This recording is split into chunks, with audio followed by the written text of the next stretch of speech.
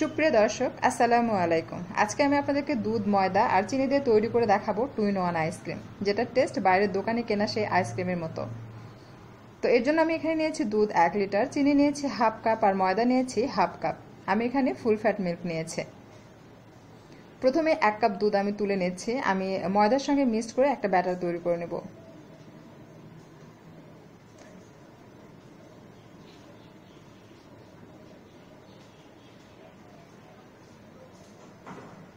আমি বড় একটি পাত্র নিলাম মিক্স করার জন্য।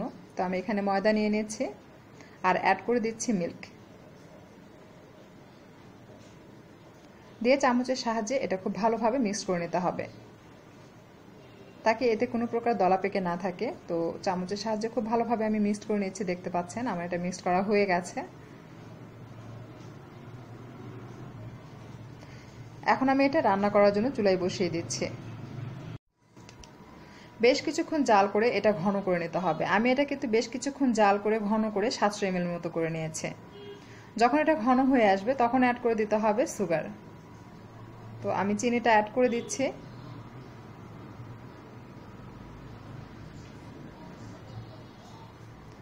দিয়ে এটাকে আবারও কিছুক্ষণ জাল করে নিতে হবে।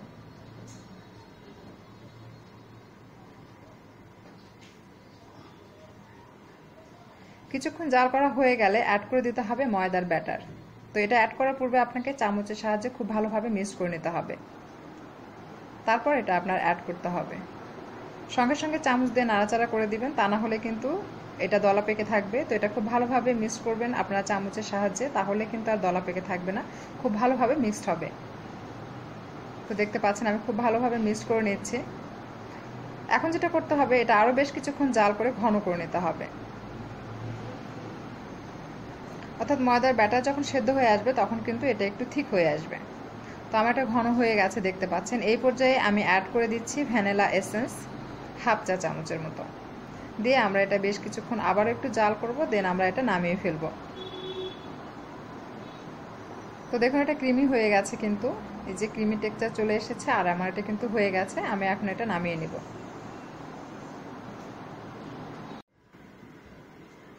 আমি এটা ঠান্ডা করে নিয়েছি। দেখুন, এটা কতটা ক্রিমি হয়েছে। তো আপনারা নিশ্চয়ই দেখেই বুঝতে পাচ্ছেন, এটা ঠান্ডা হওয়ার পর ব্ল্যান্ডারে ব্ল্যান্ড করে নিতে হবে, অথবা হ্যান্ড বিটার দিয়ে বিট করে নিতে হবে। তো গরম অবস্থায় কিন্তু ব্ল্যান্ডারে ব্ল্যান্ড করা যাবে না, তাহলে কিন্তু ব্ল্যান্ডারটা নষ্ট হয়ে যাবে। তো আমি এটা হ্যান্ড বিটার দিয়ে বিট করে নিচ্ছি, দেখতে পাচ্ছেন।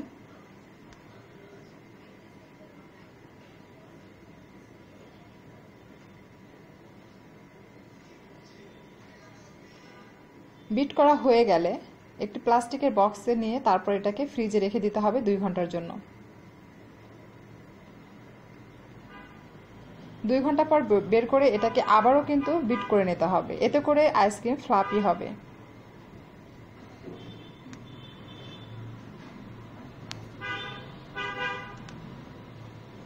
আমি এটা ফয়েল পেপার দিয়ে র্যাপ করে ডিপ ফ্রিজে রেখে দিব দুই ঘণ্টার জন্য।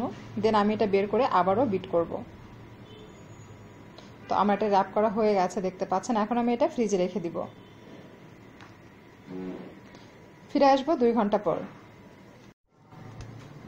দুই ঘণ্টা পর আমি এটা ফ্রিজ থেকে বের করে নিয়েছি। তো এটা কিন্তু পুরোপুরি আইসক্রিম জমে যাবে না জাস্ট মোটামুটি জমে যাবে, আপনারা নিশ্চয় দেখেই বুঝতে পাচ্ছেন। এখন যেটা করতে হবে, এগুলো সম্পূর্ণ আলগা করে নিয়ে তারপর এটাকে ব্ল্যান্ডারে ব্ল্যান্ড করে নিতে হবে, অথবা হ্যান্ড বিটার দিয়ে বিট করে এটাকে ফ্লাপি করতে হবে। আপনাদের কাছে হ্যান্ড বিটার বা ব্ল্যান্ডার যদি না থাকে, সেক্ষেত্রে চামচের সাহায্যেও এটা ফেটে নিতে পারেন। তো জাস্ট এটাকে ফেটে নেবেন এতে করে এটা ফ্লাপি হবে আর বরফ জমবে না। অর্থাৎ নর্মালি বাইরের দোকানে আইসক্রিমগুলো যেরকম হয় আর কি, খুব সহজেই স্পুনের সাহায্যে তুলে নিতে পারবেন। তো আমি বলেই নিয়ে নিচ্ছি এটাকে বিট করার জন্য। আমি হ্যান্ড বিটার দিয়ে এটাকে খুব ভালোভাবে বিট করে নেব।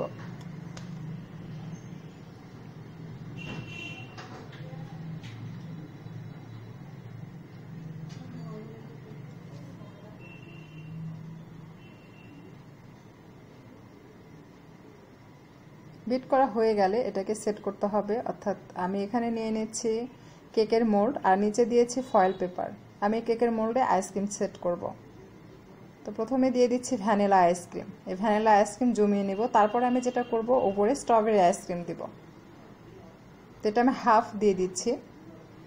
দিয়ে এটা ফয়েল পেপার দিয়ে মুড়িয়ে তারপর আমি এটা ডিপ ফ্রিজে রেখে দিব দুই ঘণ্টার জন্য। তো আমি এটা ফ্রিজে রেখে দিচ্ছি এখন।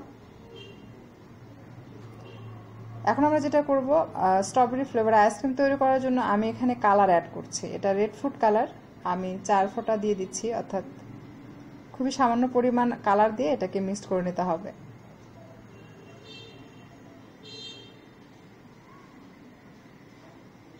আর দিয়ে দিচ্ছি স্ট্রবেরি এসেন্স বাস এটা মিক্স করে নিলেই হয়ে গেল স্ট্রবেরি ফ্লেভারের আইসক্রিম আমি আবারও এটা দুই ঘণ্টা পর ফ্রিজ থেকে বের করে নিয়েছি, দেখতে পাচ্ছেন, এটা কিন্তু জমে গেছে। দেখুন। এখন যেটা করব, ওপর থেকে স্ট্রবেরি আইসক্রিমগুলো ঢেলে দিব।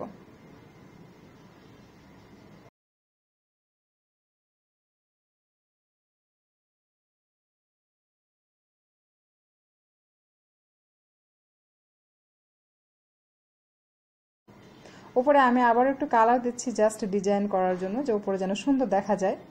তো আপনারা চাইলে ওপরে ড্রাই ফ্রুটস অর্থাৎ কাজু বাদাম, পেস্তা বাদাম, এগুলো দিয়েও কিন্তু আপনারা গার্নিশ করতে পারেন। অর্থাৎ ডিজাইন করে দিচ্ছি, দেখুন। আমি চামচ দিয়ে ঘুরিয়ে ঘুরিয়ে জাস্ট এটাকে ডিজাইন করে নিচ্ছে। এগুলো আসলে অপশনাল আমি আসলে সুন্দর লাগার জন্য এগুলো করছি। এগুলো যে আপনাদের করতে হবে এমন কোনো কথা নেই।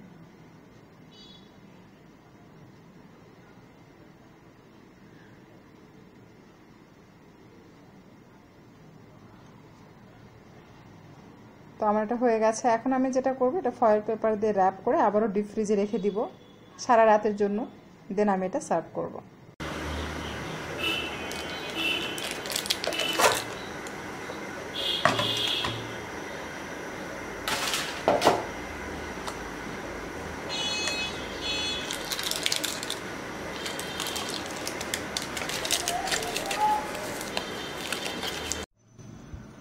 আমি আপনাদেরকে আইসক্রিম কেটে দেখাচ্ছি। এতে করে আপনারা বুঝতে পারবেন যেটা কতটা ক্রিমি হয়েছে আর কত সহজেই কাটা যাচ্ছে। তো আপনারা কিন্তু চাইলে ঘরে থাকা উপকরণ দিয়ে খুব সহজে এই মজাদার টু ইন ওয়ান আইসক্রিম তৈরি করতে পারবেন। আর এটার টেস্ট কিন্তু বাইরের দোকানের সেই কেনা ভ্যানিলা ফ্লেভার আইসক্রিম বা আপনার যে স্ট্রবেরি ফ্লেভার আছে সেটার মতোই আপনারা যখন তৈরি করবেন তখন বুঝতে পারবেন। এটা খেতে কিন্তু খুবই সুস্বাদু।